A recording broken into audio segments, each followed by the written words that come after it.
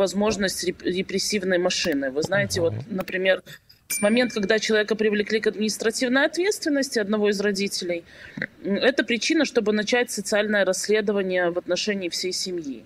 То есть э, собрать на нее характеристику, прийти домой, посмотреть условия жизни, открыть холодильник, э, посмотреть, какое там, что есть в этом холодильнике, открыть шкафы э, и так далее. Все зависит от того, какие условия проживания у ребенка. Вот вы некоторых перечисляли, одна из них, э, Инна Чижонок, это моя подзащитная, вот, э, и еще несколько которых вы рассказывали тоже, э, ну, то есть мы сталкивались с тем, чтобы приходилось э, бороться с органами опеки и попечительства. Вот пример есть, э, помните, был такой концерт «Разбитое сердце пацана» в Смолевичах, uh-huh. и там задержали детей и родителей, в том числе одного, и некоторых родителей пытались привлечь к ответственности административной за ненадлежащее воспитание детей. Эм, это был ну, целый квест, скажем так, отбиться от этих эм, подозрений, скажем так, в совершении административного правонарушения. Но, но страшно другое, на самом деле, в этих э, изменениях, которые были в декабре прошлого года, в том, что раньше нужно было быть привлеченным к ответственности, а теперь достаточно того, что тебя попытались привлечь к ответственности, но прекратили за там, незначительностью и так далее и тому подобного. Этого факта достаточно для того, чтобы ну, пошла дальше машина работать по поводу значит, социально опасного положения. То есть сейчас становится все хуже и хуже, но в то же время вот э, не работа, скажем так, отсутствие работы в течение трех месяцев, я думаю, что вполне себе можно, если очень сдаться там желанием, то можно ну, как-то, не знаю, преодолеть. В том числе, не знаю, открыть свое юридическое лицо для того, чтобы у тебя была какая-нибудь работа если уж прям так стоит вопрос. Если бы я выбирал как защитник, как, как защищаться от этого, то я бы придумала, я думаю. Это не так страшно, как административное правонарушение. Ну, вот. смотрите, смотрите, то есть, я, если я правильно понимаю, то э, вы, вы сами с этого начали, не так уж и просто поставить на СОП, да? Э, то есть, когда тебе угрожают этим, то я не знаю, конечно, я как бы сейчас на свободе, в свободной стране живу, и я уже совершенно э, отбился, так сказать, от реальности той. Но может ли человек сказать, ну ставьте, давайте, вперед. У него полный холодильник, у него работа, у него вот он был привлечен по 23-34, например, когда-то. И они говорят, ну сейчас мы тебя поставим на, малого твоего на СОП. Может человек сказать сегодня в Беларуси, ну давай вперед. Или Нет, он, дороже... конечно, может. Mm-hmm. Может. Э, я тут вспомнила, что я думаю, что смотрит этот эфир моя э, ближайшая подруга. Ее привлекали к ответственности по 23.4. Юля, привет, как там Тбилиси. Э, вот. Э, их пытались поставить на СОП. Э, точнее, угрожали этим СОПом, ходили. И на самом деле... Понимаете, тут как бы с одной стороны можно сказать, да, ставь на СОП, но это же супер стресс для семьи. Эм, ну, насколько, они, это... насколько они пойдут, если они видят, что в семье все окей, ну, по-хорошему, да, де-факто, насколько они пойдут до конца, и чтобы вот тиснуть именно, давить э, сопом? Э, я думаю, что возможно, зависит от цели. Э, потому что, ну, я бы так сказала, что в каждом конкретном районе нет общей практики. Каждый конкретный район это отдельная uh-huh. практика. Потому что я могу сказать, что там в Минске она более э, такая жесткая, э, в районах она более мягкая.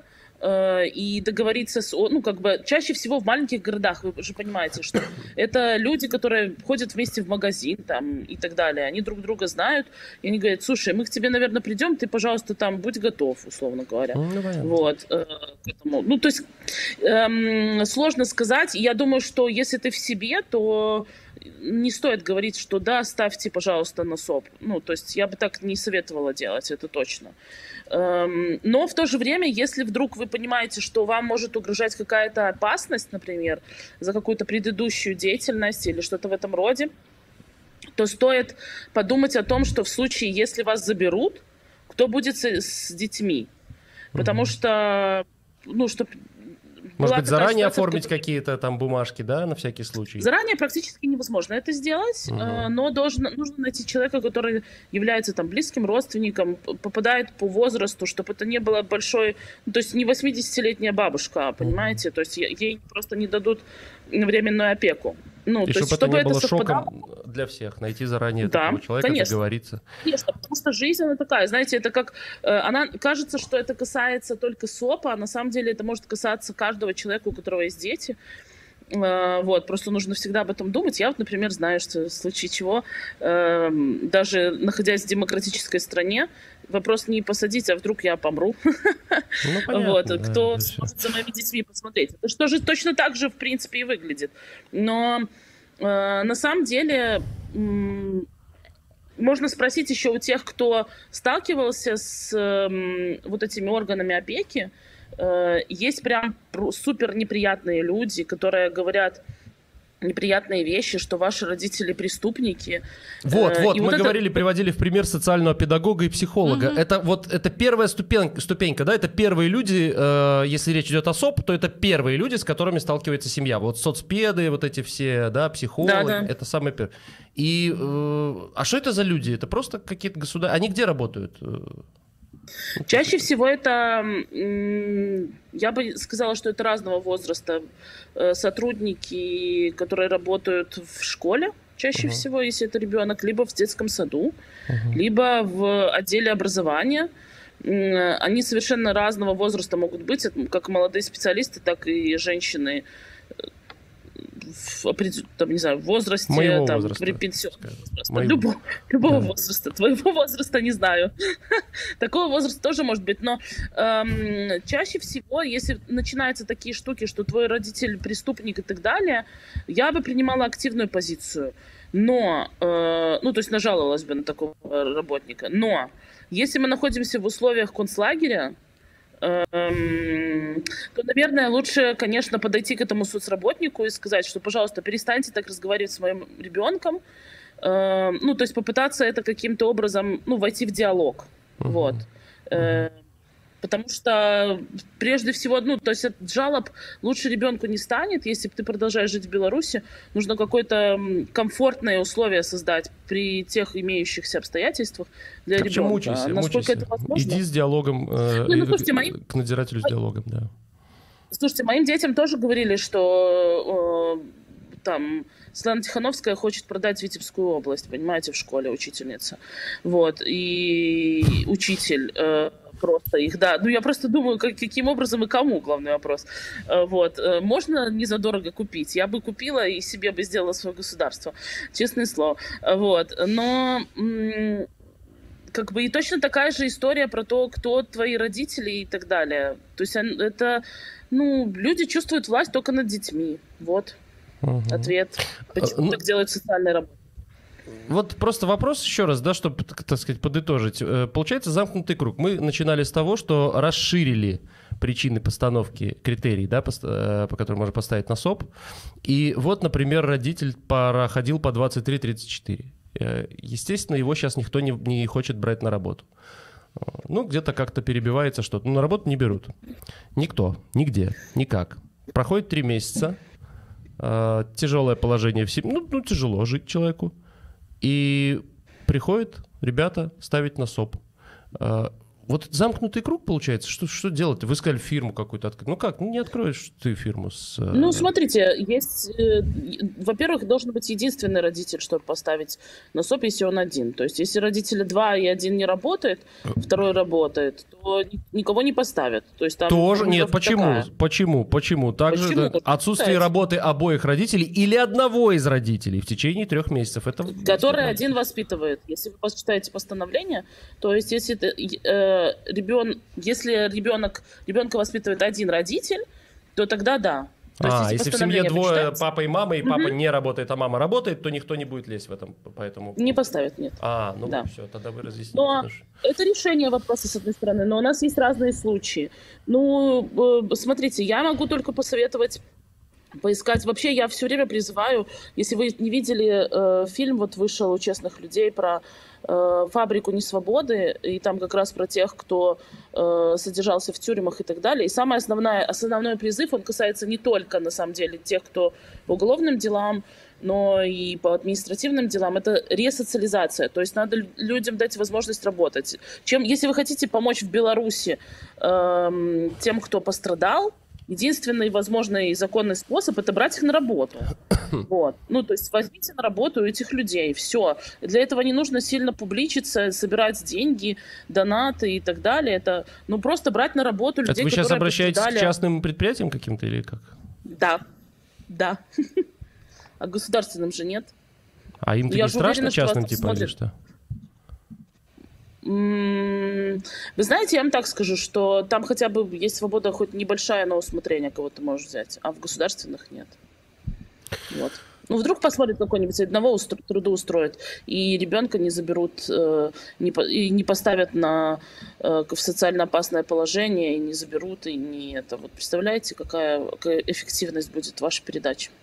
Ты понимаешь, есть же, как, я так понимаю, негласная рекомендация не брать на гос. Ну, конечно. Не, а не... На, на частные же, по-моему, такого пока нет? Негласного распоряжения? Ну, вы знаете, они приходят и говорят, увольте того-то и того-то. Тут все, да, ну... на, на пальцах все, вернее, на, на полях все решается. Да. Там, Конечно, поэтому, если есть возможность помочь чем-то, то лучше помогать э, тем, кто пострадал так или иначе, там, не знаю, привлекался к ответственности. Потому что если там реально есть дети, то есть это потенциально, реально потенциальная постановка в СОП, а следующий этап, вы же понимаете, что это значит. Угу. А я хочу такой вопрос, просто интересно, а, может мы тут, может действительно, как, как вы говорите, ну что это, меня-то не касается. Давайте, друзья мои, вот новый опрос э, сделаем, обращаюсь я к режиссеру. А, сталкивались ли вы э, с случаями постановки на э, вот СОПа? На, потому что некоторые в комментариях... Сами или слышали? Вот сейчас, подожди. Да. Некоторые в комментариях пишут, что такое СОП. Сталкивались ли вы с СОПом? Давайте так. Да, лично. Э, да, мои знакомые э, там, да, да, стал, да, сталкивались знакомые. Ну, слушай, а тут э, знакомые какие? Может быть, знакомые. которые там в казино деньги тратили? Вот вчера новость была. Ч- семья из четырех детей, мамка с папкой. За детьми не смотрели? Ну, соп. Такие, может быть, может быть, действительный какой-то СОП. Тут, понимаешь, очень... Так неважно, а хотя бы даже... А есть. Пусть, пусть действительный, пусть действительный, просто интересна статистика. Да. И нет, не сталкивался. Вот ну, интересно, да, я думаю, что нет, не сталкивался, будет процентов 95. Но давайте посмотрим. Ну, тоже сталкивался, вот новости читали там. Нет, ну я имею в виду в жизни, когда действительно дело вот заходит. То а... есть, когда кто-то из знакомых? Да, да, да, об этом речь. Заслуженно ли? Когда лично или когда кто-то из знакомых? Нет, да. это Должно будет быть... вариант, да, лично, да, э, знаю людей, которые сталкивались. Нет, mm-hmm. не знаю. Нет, не сталкивался. Вот три варианта. Просто давайте такое сделаем. Интересно, что наши дорогие зрители проголосуют. Э, ну, за, за что. Я ставлю, что да, там 95% будет за вариант не сталкивался. Мне так кажется. Вот. Это, понимаете, как, как, как любопытно. Вы уж простите, Мария, что мы тут в прямом эфире рассуждаем, но э, помнишь, недавно мы с тобой разговаривали по, на тему э, Кого беспокоит ситуация на белорусско-литовской белорусско-польской границе? No. Ну. ну, какой-то ничтожный процент населения. Ну, ничтожный. Кого беспокоит постановка на СОП? ничтожнейший процент населения. Ну, Кого беспокоит, там, например, э, там, там, не знаю, там, судьба Марии Колесникова? Ну, какой-то...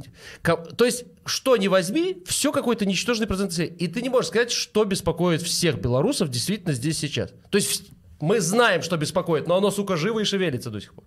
Все. И, да, и из этих вот лоскуточков так умело построено, сегодня построен режим, что вот, вот там нагадить, там подрезать, тут подсадить, тут еще что-то. И вот из этих лоскуточков он соткал этот э, свой замечательный тоталитарный, замечательное тоталитарное это одеялище. Да? Ну, а это, потому это, что это, это вообще общемировая ситуация. Разделяй, а, разделяй а, и властвуй, это называется. Ну? Да, но только дело в том, что когда ты от, э, ну, большой кусок отрежешь от, от одеяла, давайте так скажем, то это сильно заметно. А когда ты берешь в какой-то части населения, сначала разрешил, эм, там, не знаю, в, в населенных пунктах э, под э, льготы привозить всякий транспорт и так далее. Потом забрал. Потом дал кому-то какие-то льготы, забрал. Там еще что-то. Ну, то есть это же такая штука. Мы играем в, э, в... Точнее, он играет, а мы, наверное, в этом участвуем. Вот. Взяли, забрали, и потом я не удивлюсь, если потом назад вернут возможность э, менять паспорта в этом, в... Консульствах. консульствах, да, mm-hmm. а потом назад заберут. Ну, почему бы нет? Мог, могу, заберу, могу, даю. Да. Ну, вот покажу. Вот и все. Ну, то есть точно так же, кстати, это абсолютно точно так же работает с э, детьми, что самое страшное. Потому что это социально опасное положение, честно говоря, как по мне, э, это самое страшное, что, за что можно там зацепиться. Э, это вот, когда это касается детей, это пример, вот, например, там, семья Лосиков, у которых ребенок э, под опекой родителей Даши Лосик. Вот. Это супер страшно на такое смотреть, слушать. И, ну, а вот вы говорите... На мой взгляд, это самое страшное. Вы были за, э, защитницей да. Инны э, Чижонок из Жодина, у которой, э, которой угрожали забрать приемного сына, да? И а, то есть как вы... Вот можете чуть подробнее рассказать про это дело? А, что, что за несанкционированная акция в частной бане? Что ж она там творила? Слушайте, ну я только по административному делу ее защищала, не по э, делам с опекой, а только по административному делу в бане. Значит, mm-hmm. так случилось, что в бане э, собрались некие люди помыться. Так. Вот. И, люди одной э, семьи или какие-то там? разные люди, ну, просто собрались. То это не в частном доме, не, эм, не своя баня, это просто какая-то там. Да, это частный дом, баня. который сдает баню. Знаете, а, денежки. вот, да, теперь понятно. Да, баню, да. Снял баню, приехал компании, там компании моешься, там и все такое. Угу. Вот. И ну и, и туда приехал ОМОН и схватил всех их, разложил там БЧБ флаг. Да ну что, вы не слышали про дело банщиков? Вы что? Не, я уже там потерялся где-то там э, после года. Да, ну вот, банщики, их задержали, их достаточно много было. Среди них были и люди, которые там по уголовному делу проходили, и там было много всяких штук. Короче, ну не, не за это уголовное дело, ну просто. Вот. Э, ну и привлекали к административной ответственности, соответственно. А с СОПом ну, как там? Она не рассказывала вам подробностей, э, так сказать, общения с представителями тех, кто, кто мог бы поставить на учет? Вы знаете, я уже, честно говоря, не помню. Э, но я помню, что э, эта угроза была... Ну, то есть, потому что если ты хоть немножко активен, э, ну, какая-то гражданская позиция у тебя более-менее активная, то на тебя сразу начинает наезжать СОП, особенно если это приемный ребенок.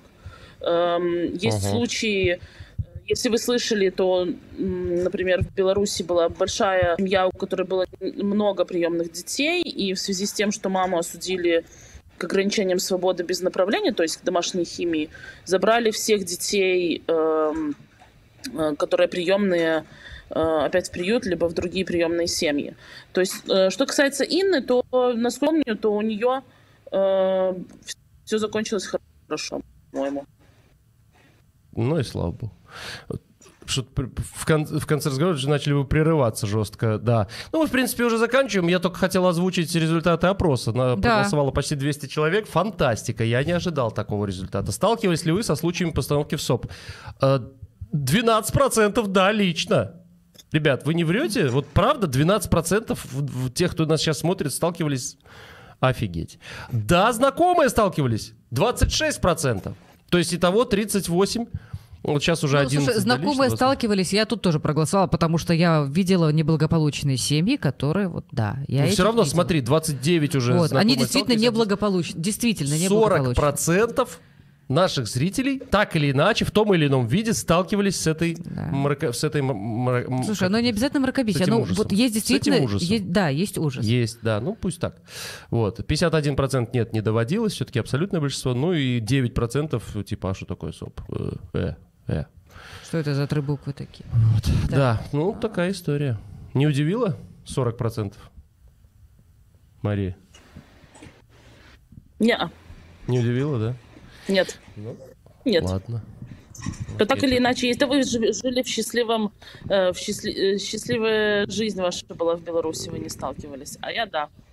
Ну, да, вам по, по профессии положено. Спасибо за разговор. Спасибо. Тримайтесь. До новых встреч. О, Спасибо. Взаимно. Всего хорошего. Всего доброго. Пока.